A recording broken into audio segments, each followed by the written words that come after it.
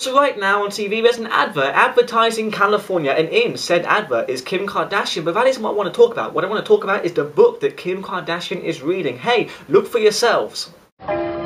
People have a lot of misconceptions about California, but none of them are really true. Did you see it? Did you see the book she was reading? She was reading quantum physics, and I just may be the only guy that has realised that because I was the only guy looking at what her book says rather than her boobs. Now, hey, listen, I don't mean to perpetuate the negative stereotype that dictates that pretty women can't also be interested in things like quantum physics, but Kim Kardashian is not interested in quantum physics, and even if she is, and she isn't, it isn't the kind of book that you read when it's sunny next to a swimming pool in a sun lounger when you're Kim Kardashian in a Californian advert. No, it is the kind of book that you read of coffee and a headache as science systematically dismantles everything that you thought you knew about the universe. Which is why I'm willing to bet you my right testicle that Kim Kardashian doesn't read quantum physics. In the same way that I'm willing to bet my left testicle that Paris Hilton doesn't read medical journals on open heart surgery written in Latin. And yes, I know if Kim Kardashian suddenly starts studying quantum physics and Paris Hilton becomes an intern studying cardiovascular surgery while studying Latin as a second language, I could potentially lose both my testicles, but I'm pretty sure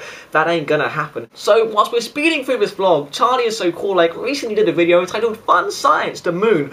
Now whilst we're talking about quantum physics, let's do our own version of fun science, because you know, I know most of you are just crazy Charlie is so cool like fangirls You only come to me when Charlie is so cool like hasn't been around for a while and you need some quick fix a British accent, but hey, I'm cool with that. So right now in physics, specifically quantum physics, there's an idea called the parallel universe theory, or as some of you may know it, the multiverse theory. Now in this theory, there is an infinite amount of universes, where every possibility exists, including every possible version of yourself. What I mean by that is, you know about time that you stole the last cookie from the cookie jar even though your mother told you not to? Yeah, well there's a universe out there where you didn't do that, where you didn't go on that skiing trip that you loved, or you did go on that skiing trip but you didn't go.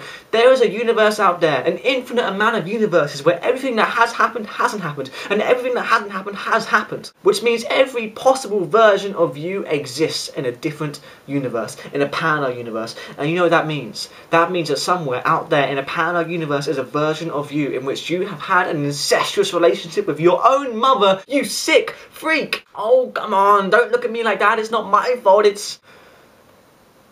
Fun, fun, fun science. Right? Fun science?